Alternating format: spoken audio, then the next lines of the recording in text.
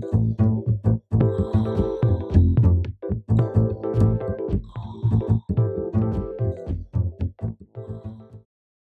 this is Chris Young from HomeKit Geek here. Today we're going to be looking at the Aqara Smart Home Hub for Apple HomeKit.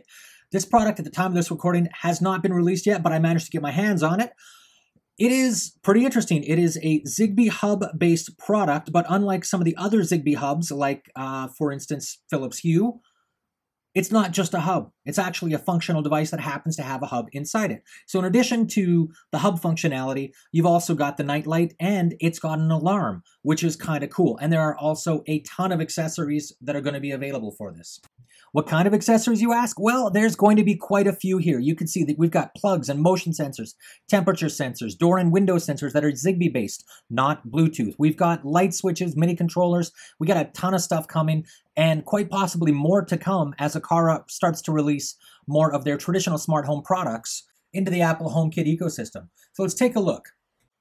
So as I said, there's a lot of products that are coming out with this, um, and the core of this is going to be the hub, which is kind of interesting. You can see it's a tiny little box. We've got the wireless mini switch, right? We've got the uh, water leak sensor, door and window, um, the wireless double rocker, the smart plug, right? We've got a, a bunch of products here that we're going to be doing reviews at and looking at more in depth. But today I just wanted to show you what is like just all the stuff that's coming out here, which is going to be really, really, really cool. What's also interesting is there are no lights connecting to this Zigbee hub at this point in time. So you can see here it is a RGB night light. Um, what's also interesting on this box, unlike some of the other Aqara gear I've looked at in the past, it is multilingual. There is uh, French, English, Spanish, right? There's quite a few different languages on the box, so you can tell they are taking serious their push to get the products into um, customers all over the world and outside of their traditional Asian market. So you can see here as you open it up, um, right there they have the new QR code for their HomeKit code. So it's nice and accessible. Um, you've also got the hub itself here. You can see this isn't a USB uh, mini micro based plug. It's actually going to be a full plug-in. It just puts it into the wall. We've got this nice dear customer. The Aqara support team congratulates you selecting. So there looks like they're taking support fairly seriously. Not much else in the box, to be honest. It is pretty straightforward. This There's no USB cable. Again, we've got the HomeKit code um, right there on in the instructions. You can tell, again, multi-language right in the instructions. They're taking serious their push, which is a good thing, right? It's it's always a concern when you have a company who is traditionally in a certain market that has a certain language base, and they're trying to get into the rest of the world um, or and and other markets do they really take that serious? In this case, it looks like they, they in fact have. So looking at the hub here, you can see it's got the speaker in there. It's got, again, the QR code for the HomeKit code, and it's a North American plug. So this will work for us. So let's get this set up. So I've already got the Aqara Home app installed here, and it integrates directly, ask me for HomeKit. I can see all my HomeKit accessories, but interestingly enough, it actually doesn't show me the scenes or automations from within HomeKit. It's asking me to log in and do that myself. And it's a little bit different, but it's kind of cool. And, and we'll show you what you can do with this. So I'm going to sign in here. And quickly we'll, uh, we'll get in. Of course, our firmware is up to date. I don't have anything installed yet, so my firmware, of course, is up to date. So the first thing we're going to do is install that new hub. And basically, that is as easy as plugging it in. Um, of course, I've got no automations or scenes set up yet, which is normal. Um, so I'm going to click on the little plus button and we're going to do which one? We're going to install the Aqara Hub and all I have to do is power it on and wait till it starts lights start blinking. So I'll save you guys the suspense here. It didn't work for me. Um, I had to go over and use the uh, airport setup. So uh, go into Wi-Fi, click on the Aqara Hub, and say, okay, which accessory do you want to connect it to, or which um, which Wi-Fi network do you want to connect it to? So for whatever reason, I see this occasionally, um, especially with newer products, they failed that initial HomeKit setup and pushing their wireless settings over. Not a big deal. Just go into the accessory port part in your Wi-Fi. You can push those settings over, no problem. And there we go. It's joined the Wi-Fi network. Now we can go back over the Aqara app and add it successfully. So I will speed my way through this. I'm going to confirm uh, yellow lights flashing, confirm, confirm the procedure, connected to 2.4, put in the QR code, look at that, added. And it works, right? So again, um, not ideal, but I'm sure this is just one of those bugs that are going to get worked out over time. I'm going to put in the nightlight, which is the accessory. So again, this is the combination of an accessory and a bridge in the same device. So there's the nightlight, which is an RGB, so full color nightlight.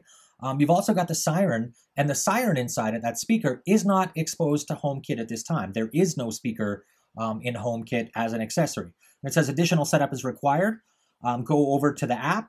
So we're in the app. Okay, so what else can we do? Well, we want to add more accessories, right? So again, I want to point out that this was not a released product, and yet uh, I was prompted for firmware updates, which is kind of cool, right? So the uh, current version is 1.2.2.6, latest version is 1.2.3. So they are making um, they are making additional fixes. This will now support the curtains, optimize system stability. So I'm expecting good things and lots of updates in the next year. So the last thing I want to show you guys here is the way that we do scenes and automations in the Aqara app, which is a little bit different. Yes, of course, we can um, go into HomeKit and Apple Home and use anything in there, but there's a different automation engine right within the Aqara app where we can grab any of the um, the, the devices that we have discovered, which I've got a few here already added in, and we'll get to those videos later. And we can use those to perform actions, some of the actions which are not actually available to us within Apple HomeKit.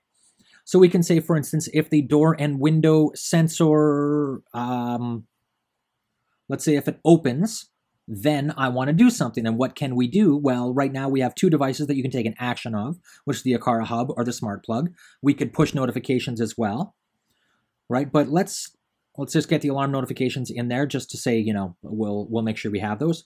But I want to look at the Aqara Hub because that's where I think things are going to get a little interesting. So click on the add button again, click on Aqara Hub, and look at that. We have, we can turn the light light on or off. We can play ringtones, and we can push like these alarm settings, which is kind of cool. So I can play it, have it playing a dog barking or air alert, battle sounds. So I can actually have it as kind of a more of a security device so that in after a certain point of time, um, the window opens, maybe I'm already at, uh, asleep at night, I want some kind of a notification, an audible alarm, I can do that here. This is not available to us within HomeKit. When I've got this set up, I can actually just show you guys here. I'm going to pull this, um, the, the door and window sensor apart and look at that.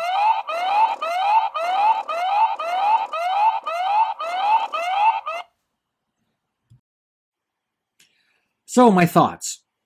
I'm I think I'm going to be a real big fan of the Aqara system here. Um, the app seems to be pretty good. Uh, yeah, there are some bugs in it, but you know what? It's it's brand new. That will get fixed quickly.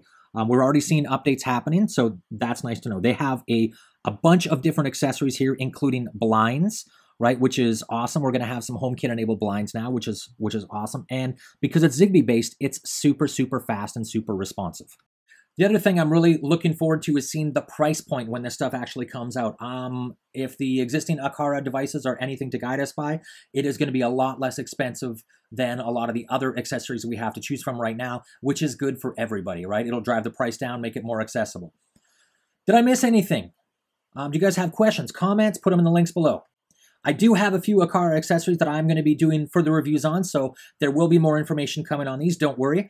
Likes are always appreciated, as are shares. Subscribe if you haven't. Click on that little bell. It makes it really easy to get notified when there's new videos coming out. And if you want to learn how to make your house just a little bit smarter using Apple HomeKit, do me a favor, check in the video details below. There's a link to my Udemy class.